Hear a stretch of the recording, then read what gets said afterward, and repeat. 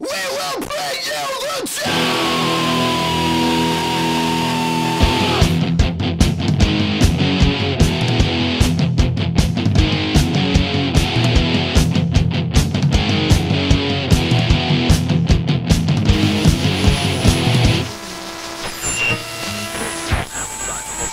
My name is Erin, and she talks.